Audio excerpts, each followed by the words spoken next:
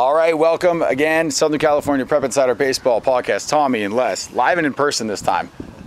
Shocker. This is the Division Two podcast. Again, we have podcasts for all three of the top divisions. Make sure you watch all of them. If you don't see your division, then it's probably the wrong video. Check it out, but watch this one anyway. Even if it's not, just get the extra information. Division Two, first game, Village Christian at Beckman. Yeah, Beckman's going to face the Valley Christian, and they, I mean, they should roll. Trevor Earn has been really good for the Patriots on the mound, while all three McLean brothers are hitting over 340. Um, you know, they, they, Matt gets a lot of the attention, rightfully so. UCLA signee, MLB draft prospect, but the two brothers are playing really well. Their offense is, is just more than a one-man show. Obviously, look for the Patriots to roll in this one. Um, yeah, I'll agree with you. Uh, they're bringing number eight in the state by Max Preps. Really good team. Again, probably a team that should be Division One, but the way things work, they're stuck in D two. Uh, next, Redondo Union at Rio Mesa. Yeah, Redondo is really loaded both on the mound at the plate. Jake Thaw and Andrew Dahlquist give the Seahawks a really good one-two punch. Uh, you know, they also have postseason experience. Rio Mesa comes in hitting 357 as a team, really good offensively, but this will be the best pitching staff they face all year. In the end, I think Thaw's going to be too much for them on the mound. Redondo moves on. I'm going to go Rio Mesa here. Austin Maciel hitting 463, Daniel Cabral hitting 420 with 25 RBIs, Christian Herrera hitting 400, two home runs, 30 RBIs, and uh, Brent with a .97 ERA, so he'll probably be throwing for them. It's going to be a good game either way, but I've got uh, Rio Mesa next. We have Troy at Quartz Hill. Yeah, Quartz Hill's rolling. You know, they were perfect through the Golden League and route to the title. Troy finished second in the Freeway League, and they have to hop on a bus for an hour and a half ride up into Quartz Hill. You know, I just think Quartz is going to have too much on the mound. Having seen Troy a little bit earlier, I think the pitching for Quartz is going to dominate here. I don't know. Carson Palmer for for Troy, .64 ERA. Again, it's one game, not a series. So I think they got a shot here, but I'm going to take Quartz uh, Dawson Diamond, uh, hitting 395, four home runs, 34 RBIs, going to San Diego State next year. I, it will be a close game though. This will be a, this will be a low scoring one. Uh, next, Damien at Calabasas. Yeah, I've got Damien in this one here with with the Barrera brothers. Diego Barrera probably on the bump. They just they've got their hearts ripped out from them last week against Etiwanda. But I think Damien's just going to be too much for Calabasas, both offensively and with the pitching.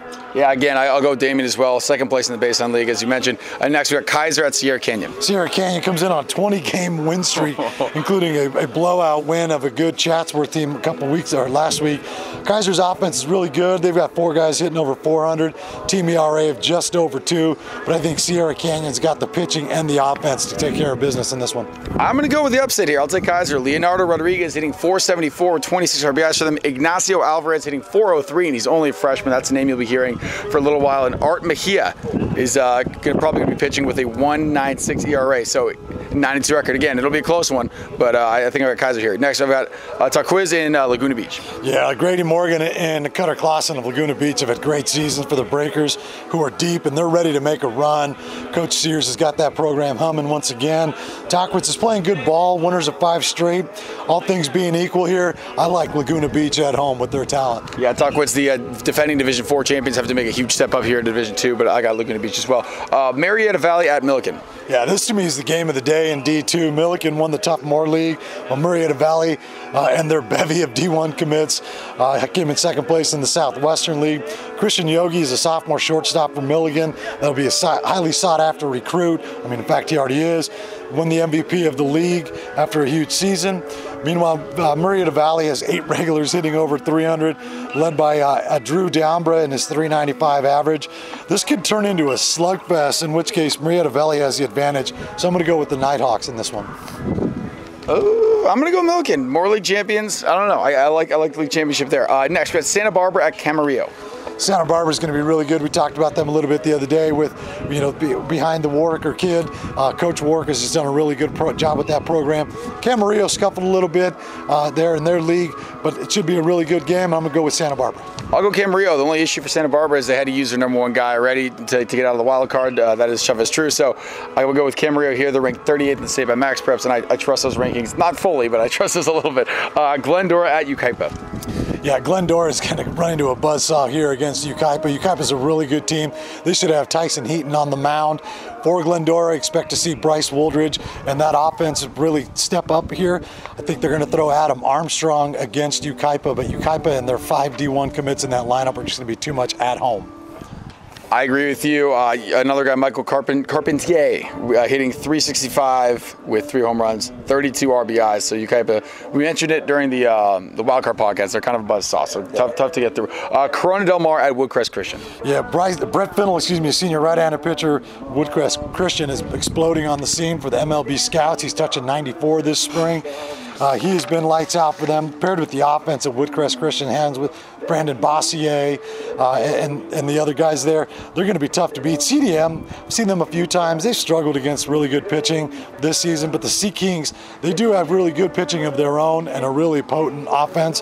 This could be a really good game, but I think Woodcrest Christian in the end has a little bit, just a little bit too much for them. Uh, yeah, that's going to be a tough one, too. I, they got a guy with a great name, Tommy Wilcox, going to Tennessee at CDM, but he'll probably pitch. He's got four shutouts already this season.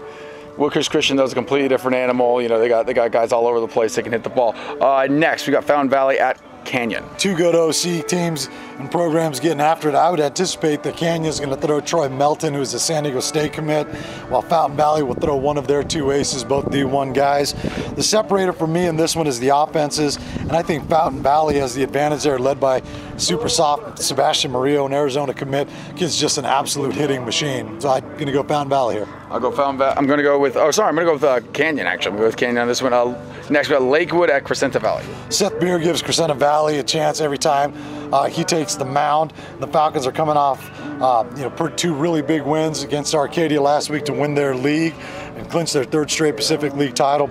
Lakewood is young and talented.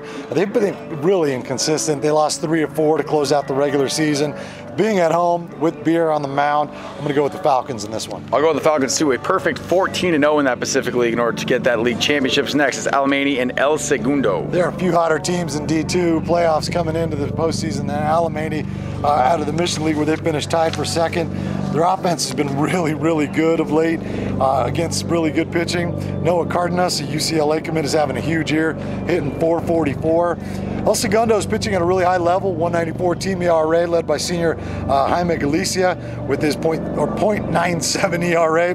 But he's six and four, so that ought to give you an indication about their offense. So I'm going to go with Alemany in this one. I'm going to go with Alemany too. Probably a Blake uh, Traxel throwing. He's got a 1.29 ERA. He's thrown six complete games in the playoffs. If you can get a complete game out of your starter, that is amazing because you got to save as much pitching as possible. Next, we've got Simi Valley at St. Bonaventure. Uh, Owen Charts gives Simi Valley a chance every time. He's really tough to beat on the mound. Nevada commit is just he's just a really good pitcher. Is another way to put it. The offense has been pretty solid for them too. Seraphs come in winners of 11 in a row, but they haven't seen this type of pitching during that streak. So I'm going to go with Simi Valley. I'm going to go with St. Bonaventure, just the hot hand, the 11-1 game winning streak. Let's see if they can make it 12. Uh, next, I've got Ayala at Don Lugo. Yeah, this is a battle of two schools separated only by a couple of miles out in the IE. We're very familiar with each other. Ayala has recovered nicely after suffering some key injuries uh, to finish second place in the Palomares League. They also have the experience of deep playoff runs over the last few years. Don Lugo comes in winners three of four, including some close games that could have gone either way. This will be a step up for Don Lugo, in my opinion. I just think Ayala has too much on the mound for them. Yeah, I'm going with Ayala as well. They got a freshman, Cole K, hitting 458 two home runs, 23 RBIs. Again, a kid you're going to hear about for the next few years. Uh, final game D2 is Tustin at Tesoro. Yeah, again, another matchup of two Orange County teams. Tustin got the big win yesterday against El Modena. Tesoro has had a really strong year. Their lineup one through nine is really good. I'd expect Tesoro to take handle business at home.